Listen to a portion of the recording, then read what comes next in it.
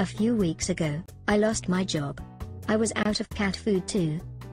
Well, what did you do? I called Feed the Petz Pet Food Pantry for help. Did they help you out? Yes, they gave me lots of cat food. That's great.